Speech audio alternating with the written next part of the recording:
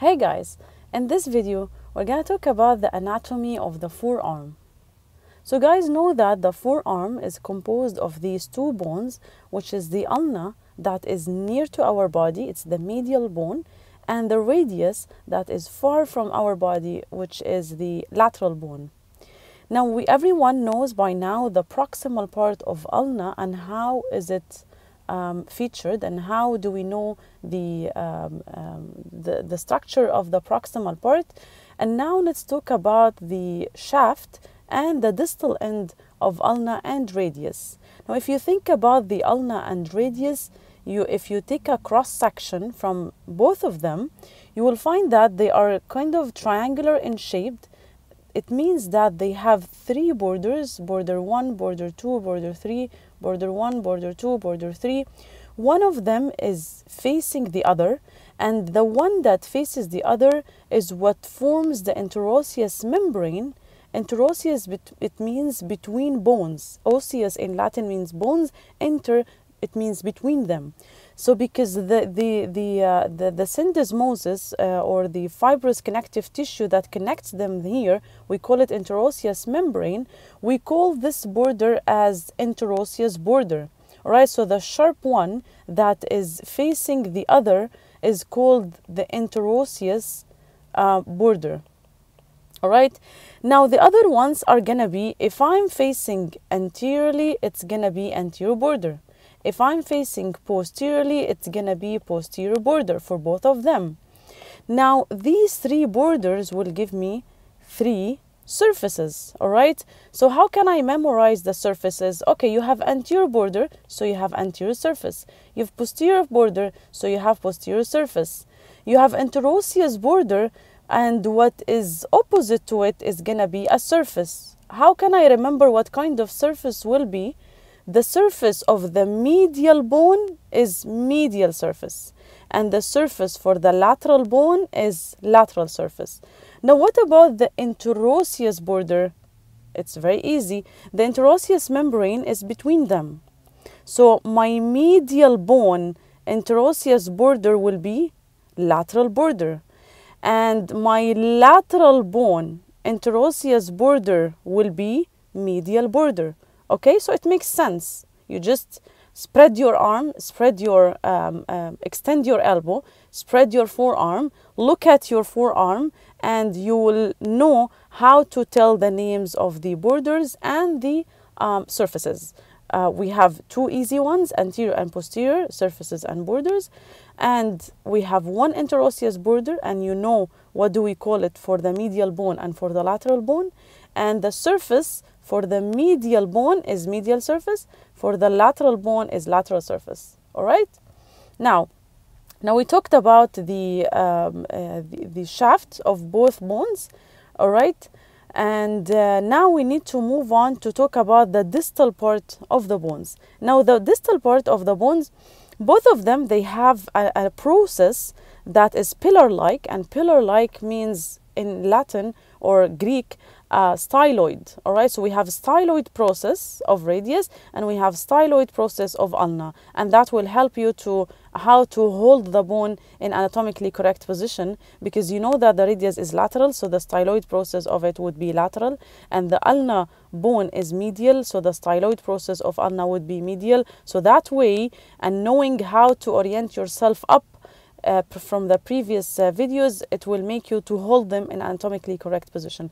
Remember that previously, guys, we said that we have the radio-ulnar joints. We have proximal one, we have distal one, and middle, which is the interosseous membrane. Remember what I told you how to remember the uh, what forms the radio-ulnar? It's called radio-ulnar. It means from the head of radius, the proximal one, and radial notch on ulna. And the opposite is true here. It's going to be between the head of ulna and the ulnar notch on radius. All right. And the distal end of radius is basically broad because that is going to make your wrist joint.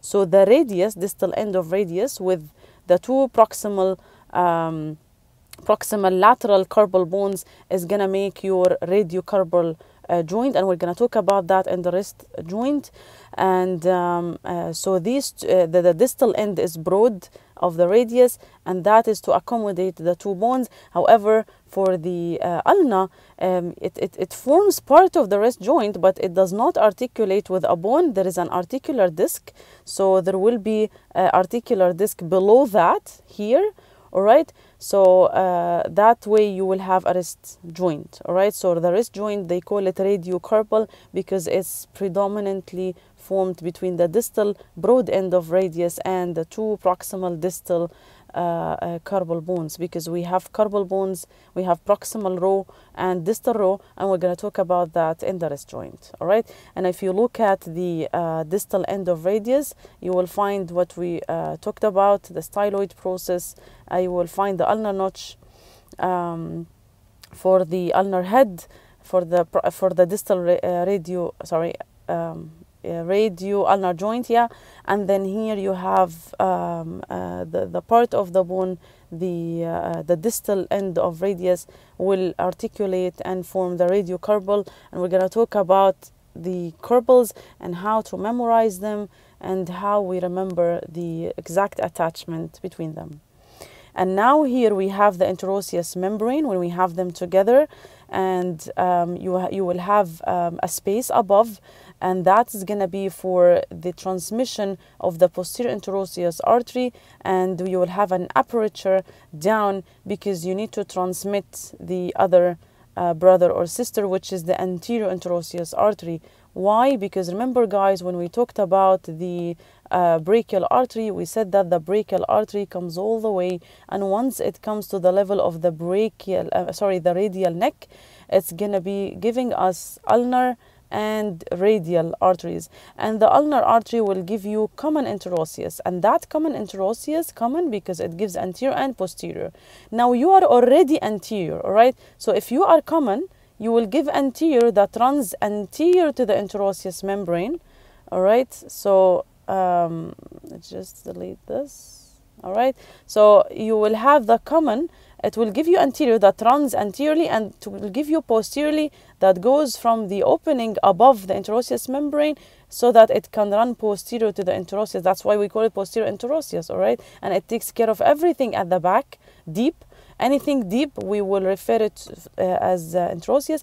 And then once you come down here, the anterior one uh, needs to follow its sister, so it's going to be uh, moving on uh, from the aperture to reach the backside. All right backside it will go to the backside. All right so in the interosseous membrane um, in the proximal end we have the posterior interosseous artery moving through this to supply structures at the back and the aperture down will transmit the its sister or its brother all right to reach the posterior compartment. All right? Now um, i just want to say an idea here and uh, and then we're gonna move on to talk about the muscles. Now what is the idea? Now now guys we will talk about the muscles of the forearm the the anterior muscles and the posterior muscles and we're talk about the attachment. I just want to tell you we have two pronators muscles pronator teres and pronator quadratus and we have one supinator muscle. Whenever we say it's a pronator muscle or supinator, it means that this muscle is coming out from ulna to radius. Why? Because can you guys see the picture? Whenever you do pronation or supination, what is moving actually is the radius. The radius is rotating on the ulna. So in order for you to move the radius, it means this is your insertion attachment. So it makes sense that the pronator teres, the pronator quadratus, and the supinator three of them they originate from the ulna and they insert themselves into the radius. The pronator teres is up the pronator quadratus is down and the supinator has two heads. One of the heads is the lateral epicondyle and the other head is the uh, ulna itself all right? Because this is following our rule